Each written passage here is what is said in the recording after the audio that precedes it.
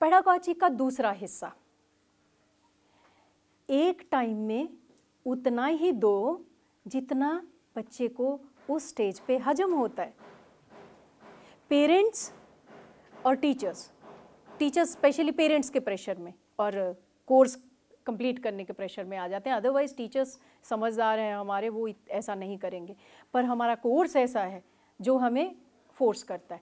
तो हम क्या करते हैं? यदि बच्चों ने बहुत अच्छे से कर लिया तो हम थोड़े और उत्साहित हो जाते हैं। हमें लगता है अभी तो ये फर्टाइल इस वक्त बना हुआ है सॉइल थोड़ा सा और डाल दो।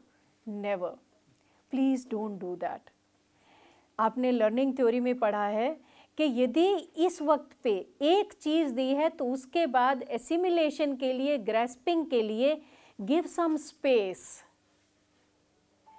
दूसरे देशों में, खास करके जापान का जो केस आपने पढ़ा होगा, पीछे बहुत आया था व्हाट्सएप पे भी बहुत वो सर्कुलेट हुआ कि हर एक पीरियड के बाद पाँच मिनट का रिलैक्सेशन देते हैं guided relaxation where children are us to close their eyes and put their head down on their desk और फिर बोला जाता है कि अब आप जो है वो अब बाहर की आवाज़ें सुने, आप दूर की आवाज़ सुने।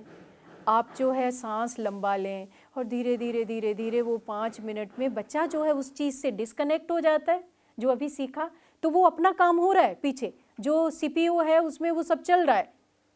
और बच्चा जो है रिलैक्स हो रहा है और फ्रेश हो रहा है। उसके बाद उनको कोई दूसरी तरह की एक्टिविटी दी जाएगी।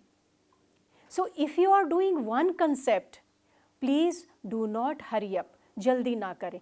सिंपल एंड स्मॉल जैसे खाने में होता है, क्या क्या करेंगे? यदि बहुत ज़्यादा अच्छी सब्ज़ी बनी है और आपने दो बार ले ली लालच में आके, जैसे शादियों में हो जाता है, सब कुछ इतना सुंदर लगता है तो वो हम ये कड़छी भी डाला, वो कड़छी भी डाला, वो भी डाला, छोड़ें क्या? और फिर सुस्त भी हैं, दोबारा उस सीट पर से उठ के भी नहीं आना है। तो सोचते हैं, एक ही बारी में ले चलते हैं सब और बैठ के खाएँगे और फिर आना होगा तो जो भी साथ में यंगर बैठा होता है, बेटा बैठा है या पति बैठा है मतलब मैं तो अपनी कहानी कह रही हूँ तो उसको भेज देते हैं कि अब अब मेरे लिए भी ले आना। अब वो तो अपने हिसाब से लाएँगे जितना उनको भूख। यही हम लोग करते हैं रोज़। हम इतने आतुर हो जाते हैं ज़्यादा खिलाने के लिए, जैसे माँ घर में खिलाती है। आपका पेट नहीं ले रहा है, फिर भी खिला देते हैं। तो उसके बाद क्या होता है? जो पहले खाया था, जिससे आपकी सेहत बनती, वो भी खराबी करेगा और आपको ये रहेगा, चूरन वूरन कुछ ले और जल्दी से कुछ हो, ताकि कंफर्टेबल सवेरे तक मुश्किल होएगी अदरवाइज़ तो वो जो अच्छा अनुभव है स्वाद का, वो भी हम ओवरलोड करके ख़राब कर सकते हैं। Same is with learning and development neither learning nor development can happen based on shortcuts कोई शॉर्टकट नहीं है लर्निंग का और डेवलपमेंट का। सिवाय इसके कि उसे स्प्राउट होने में जितना टाइम चाहिए चाहिए। दही जमने में जितना टाइम चाहिए चाहिए। सो so प्लीज़ इस चीज़ से ना डरें कि आपने ड्रामा करा दिया, आज आपने आर्ट में ड्राइंग करा दी तो मेरा मैथ्स का ये कंसेप्ट पूरा कैसे होगा? I tell you if you leave your children with that experience and that much knowledge there are much more chances rather there are sure chances कि बच्चा कल उसे बेहतर तरीके से कर पाएगा, बजाय इसके कि आज आपने उनको इतना सब कराया और पूरा ज़ोर लगाया। और उसके बाद बच्चे वो नहीं सीख पाए जो उनको सीखना चाहिए था।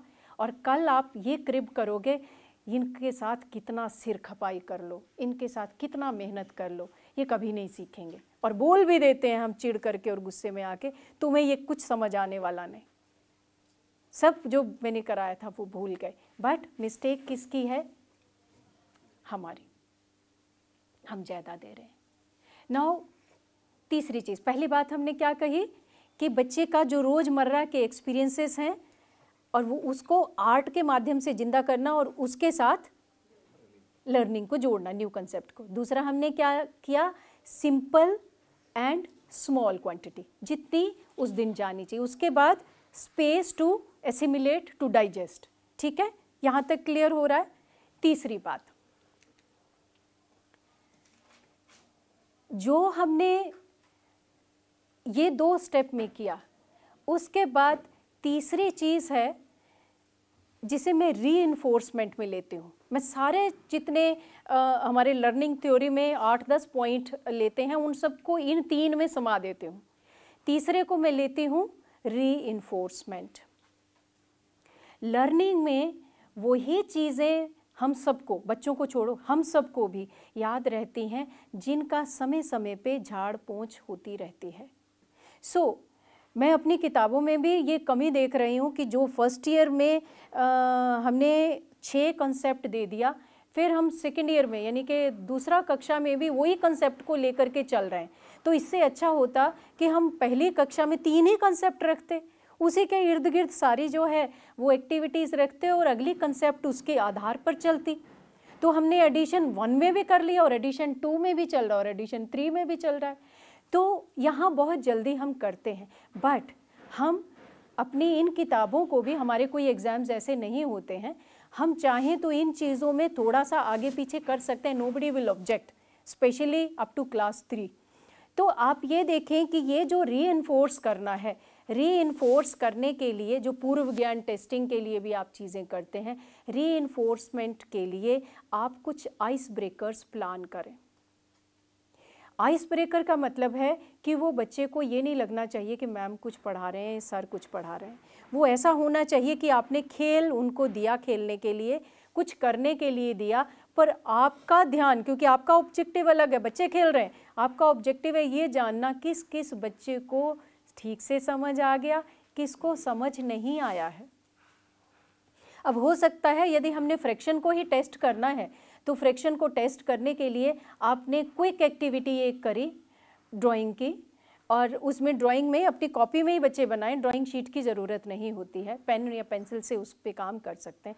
आप ये कहें कि आपने अपने दोस्तों के साथ, आज लंच टाइम यदि लंच से पहले है तो दोस्तों के साथ अपने घर से लाई हुई चीज़ को बांटना है।